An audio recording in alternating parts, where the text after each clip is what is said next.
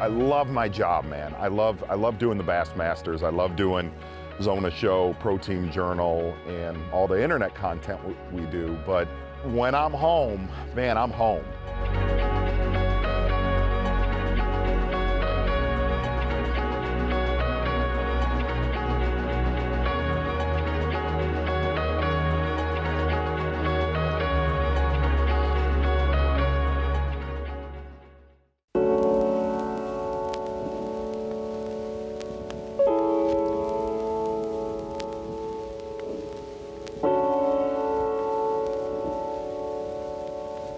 After a season of Bassmaster and Zona Show, man, you got to recharge. You got to get your brain. You got to get your brain right. And look, you all you all work hard, and and you know what I mean. You you need a, a day or two to unplug, decompress, and get ready to to re-rack and start again. And that's really what happens this time of year in the fall. A day in my life is I wake up early every single day and work hard and play hard. Every Strike King Lures guy that has been on home life can relate to this is is those guys all fish tournaments all year. I cover tournaments and do Zona show and different fishing shows all year just for this 10 to 12 day span to go deer hunting. like I, I'm convinced that's why we all work. We're on the second, second day of Michigan gun season and day one was good. I mean, it was good. It went down. Opening day, which was yesterday, was phenomenal. Big hammer, you know, eight comes in, and I shoot him. I'm happy. And then my buddy, James, hour and a half later, he shoots his target deer, this big mast, just thick eight. Probably not Andy Morgan deer. It was a pretty damn good deer. For Michigan, it, it, it was a, you know, it's a trophy. It's a trophy animal. The deer I was after, that my target deer walks in front of me at 48 yards, and I got a video of it, but it's walking the direction of, of Karen. And what are the odds? I, I shot a hammer and a bigger hammer walks out. Said nobody ever, and I let it walk because I thought it was gonna walk towards Karen, and it did. It got within 30 yards of her, but it never came out of the thick stuff. But she went out, she went out that night and shot a really pretty eight on her own. It was not the one she thought it was. The, the three of us all, you know, we all tagged, and, and that's all you can ask for.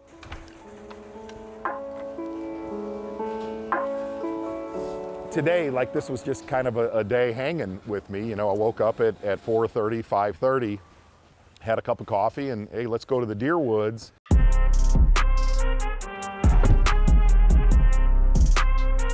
Yesterday was so great. Everybody that, you know, I hunt with my buddy James and Karen, everybody, ah, they filled their tag and awesome and bucks everywhere. And cameraman Brandon came down last night. He's like, all right, we're going out. We punching tags. I'm like, no, we're done. but there's one. There's one. Not gonna lie, this music does make me get pretty pumped up for the potential. I listen to Goodbye Horses from Silence of the Lambs. Whoa, whoa, right there, right there. I'm very fortunate where I hunt, the guy that I hunt with, Flavor James, we pass on a lot of really, really, really, really, for, for Michigan, for anywhere, really big deer so we can grow some big deer. And you know, I grew up in my teens and my 20s, man, if it walks by, boom, hey, tag, high five all your buddies that I went to community college with for seven years. I did too. Everybody likes to show people their, their deer pictures or their fishing pictures. The only people that care about your deer pictures and your fishing pictures are you. Nobody else cares about them. And what's funny is I have thousands and thousands, I have thousands and thousands of videos of, of deer that, that I just let, you know, I, I let walk. You know, when I first started hunting, I'm, I'm pretty sure probably a bunch of you are like this, and you still may be, and that's okay. If something comes in, you shoot it. That's what hunting is, and that's all right. You know, that's what fishing is, and that's all right. Like I said, we're only, we're really only hunting one deer today. Uh, but we're gonna see something.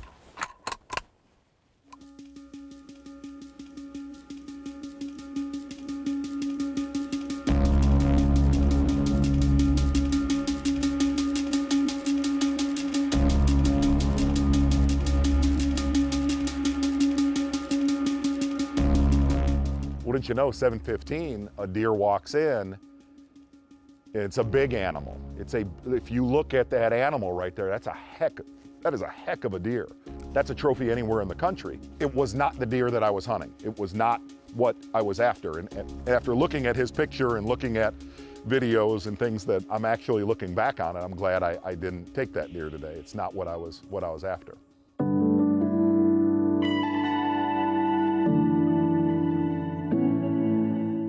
You know, cameraman Brandon from, from Striking and Lose, he's like, dude, I saw a biggest deer in the first 10 minutes hunting with you than I've seen, you know, in the last 15 years of his life. But it also makes it a lot easier that I shot one yesterday and really didn't, you know, I wasn't eating tag soup.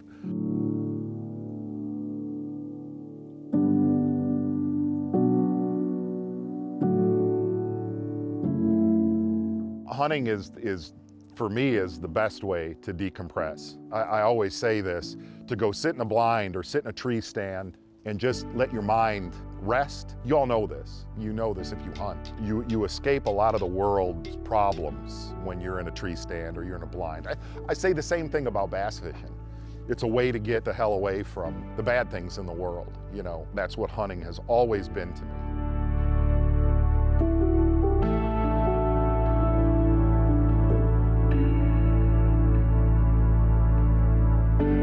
Even when a doe walks out, you know what I mean? When you see movement, gosh, it, it, it, still makes, you know, makes my hair stand up. You never know what's coming next.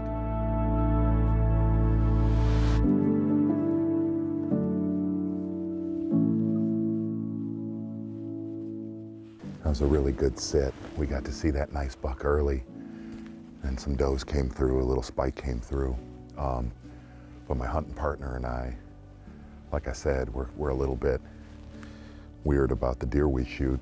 There's a, there's a really, really, really wide eight, and then there's a heavy, heavy 10 that were kind of the two deer that we were gonna, and we still are gonna probably hunt those, but you know, to see like, to see, just to, it was, granted, it was still really dark out this morning, but to see a buck like that is, uh, where you at, B? Give me, that was awesome.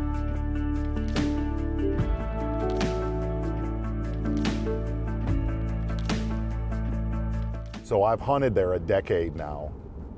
And like, here's what it was like when I first hunted it. Used to be hunted very hard by the people that used to lease it.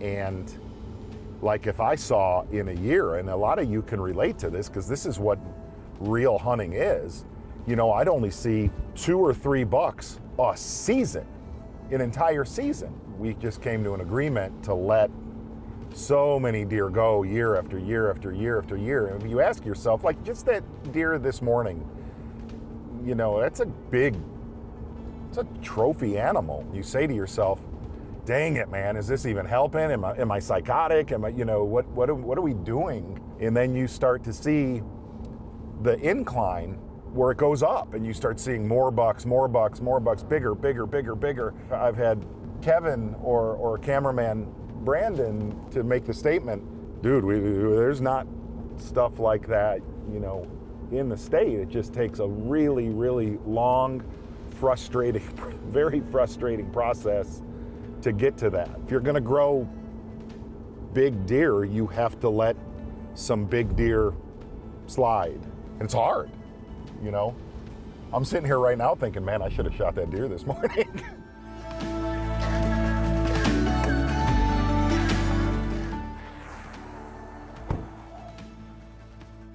It's just a typical day, you know, it was a typical day during hunting season. I went and picked up you know, to my to taxidermy.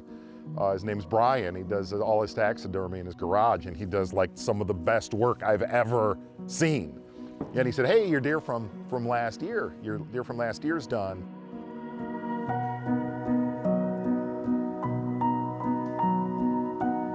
You know, to go in there, to go in his garage and look at, I mean, that's an artist you know, to me, taxidermy work is, it's art. And, and his art is a 10 out of a 10.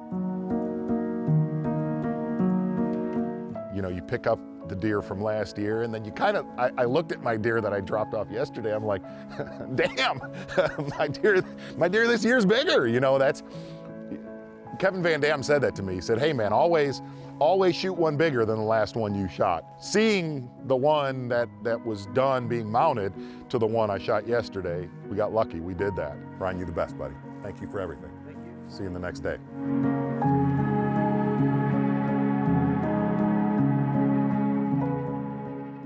After that, it was a typical day. One of the things I do is I go to the other side of the lake and just visit my dad and uh, sit down for an hour or two. And uh, he gives me all the gossip of the lake shore, like he is the principal, the dean of the east end of this lake.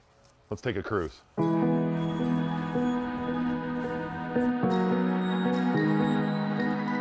I grew up on this lake.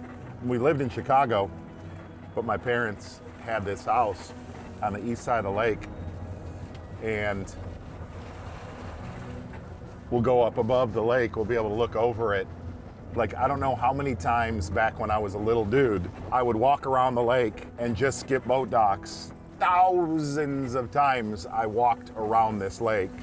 One of the reasons why Karen and I moved here is we could be near dad and make sure he's doing okay.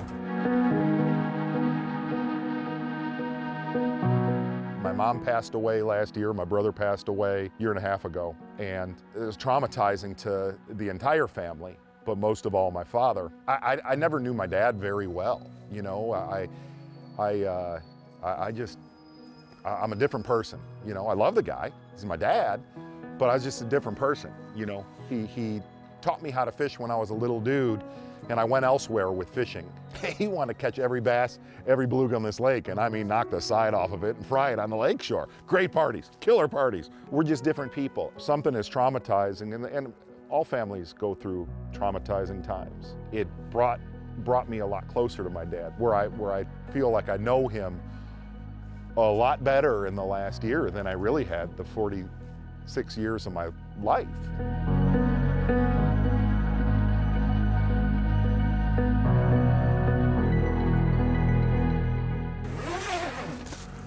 So this is the this is the house I actually this is the house I grew up in. Uh, you know, we'd come here from Chicago and come up here and fish like all weekend, Friday, Saturday, Sunday, every single week, and then moved up here in '91. There he is. Uh-huh. That's. Took you for a ride in the buggy, huh? Yeah, I did. All right. That's Big Al right there. Hey. Big Al caught that muskie back right in '77. It was right out here in the lake right in the lake. You know, jump in the golf cart, have a cold one with my dad, and, and BS about nothing. Check that out. It went through the window. Opening day, a 10 point goes through the window of the church. That is so bizarre. Where was that at? A church downtown. Sturgis, Michigan. Yeah. Look at that. Bless his heart. Yeah. And Just ran bless. up the stairs, ran down the stairs, and left the same way it came in, right through the window. Yeah you believe that? This is the most messed up thing ever, and I rip on Dad for this. You ready? I don't know if it's an Italian thing. You ready? There's a garbage. Right. There's nothing in it. Right. Okay? Because he has a secondary garbage right here. What's the point of having the pail if you're gonna have... He's a piece of work. I mean, he is your typical Italian dad. yeah. But in a nutshell, that was the whole day. Beautiful. That one good? Uh-huh, yes, sir. Oh my gosh. My, my, my life at home is very, it's very lame. I'm a loner. I am. I, I, I can't say this enough. I know I already said it. I hang around my wife and my wife and my wife. I mean, I got friends and stuff like that, but but I prefer when I'm home. The scorpion, she's Karen's my best friend I've ever had in my life, and you're, you're, you're lucky to have that when that's your, your wife.